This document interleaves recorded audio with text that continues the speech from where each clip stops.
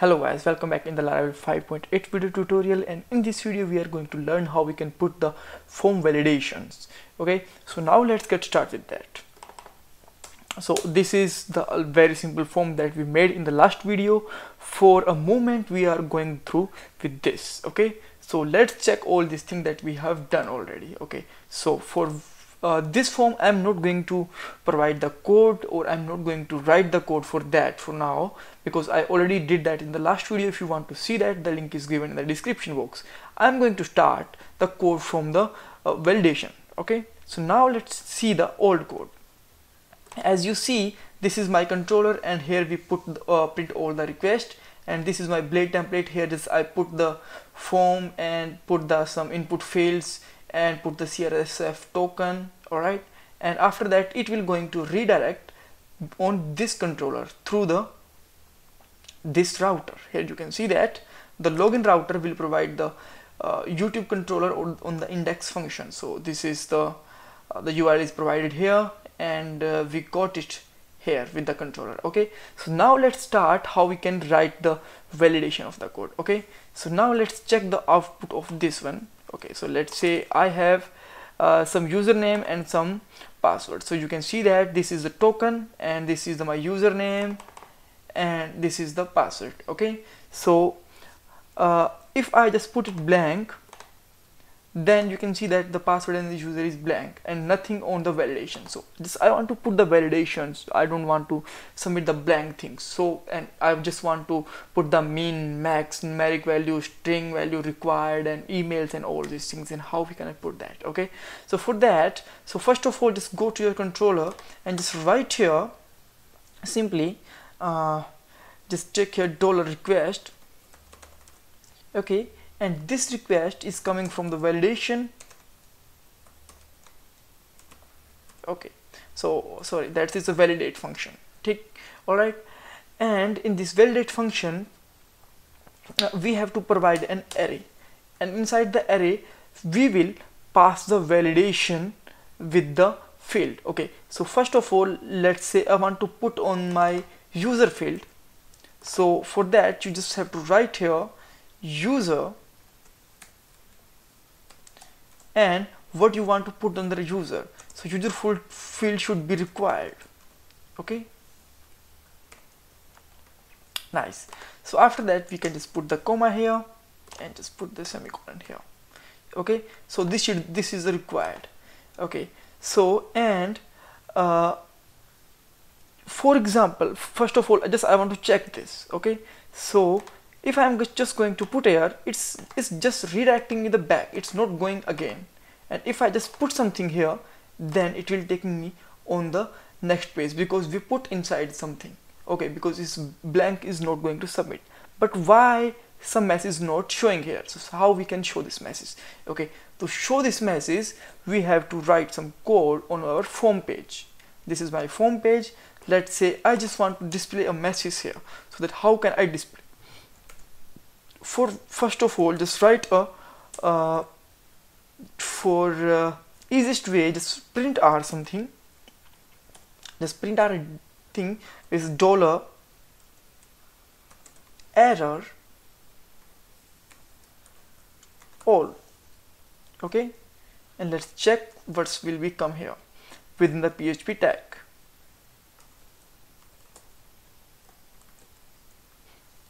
and after that showing the error we will going to put it in a particular manner. Okay? So you can see that by default it's in uh, blank. And if I just passing the blank username then it will showing the user field is required. But it's something it's not looking cool. It's looking this it's a zero index and what and all. Okay? So how can I do it uh, looking nice? For that what I can do I can put a for each loop here okay. So so that what I'm going to do just I'm going to write here uh, just copy this one. And uh, we don't need to this tag also. So Laravel provide a very good functionality inside the uh, blade template. So for that we can write for each loop like something like this okay. And just put it here as dollar error. Nice. It's looking some nice.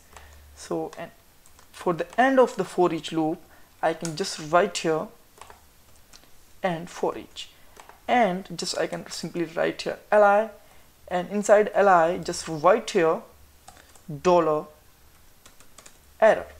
Okay? Now let's see what's going on here now you will see that it's looking nice.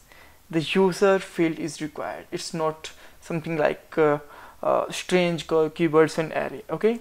So uh, if you are thinking what is that? then you can watch another video which is uh, for the blade template then why we use the at the rate and why we use this one. So they are coming inside the blade template so the link is also given in the description box. So if you want to check that you can also do this okay? So now just let's go again and I want to check that uh, the password field should be uh, length of the minimum five characters. So how can I do that? So for that just write here password and you simply you can like max uh, just min because minimum we need a five characters so let's just write here five okay? Now just try to submit it once again. Then you will see that we got the message the password must be at least five characters okay? And if I just put them the both now this field is also blank and this then we got the double error uh, validation message the user field is required and this. And if I just write here something like like password one two three four five six then you will see that there is no error and form is submitted okay? So let's check for now like I want to uh, the user should be an email address okay? So for that just write here anil now and password put whatever you want to put here and try to submit here and it will tell that the email is the user email is a valid email okay? So for that I can just write an email address and I can just check here something like uh, one two three four five six. Then we can see that we are able to proceed uh, after the validation message okay? So these are some uh, basics that uh, let's say if you want to put the uh, just do one thing more required and min with the max also.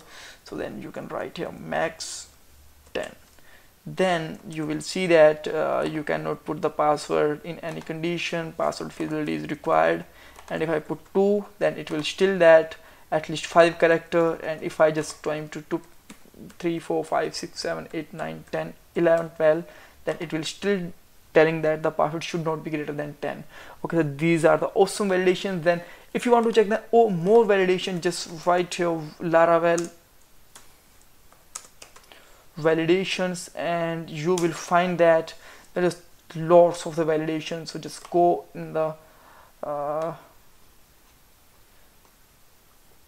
just go upside and you will check that there is a kind of lots of validations. Uh, just uh, go on the validation screen and just check it out here. Uh, these are the user extensions and user closures and conditions. There are lots of uh, things. These are the required without and required with and you can see that the present nullable not and there is thousands of validation that you can use them. So in the next video we are going to tell something new about the laravel 5.8 and thanks thanks for watching this video. And if you still have any kind of confusion you can ask me in the comment box. Don't forget to subscribe our channel. Thanks guys. Thanks for watching this video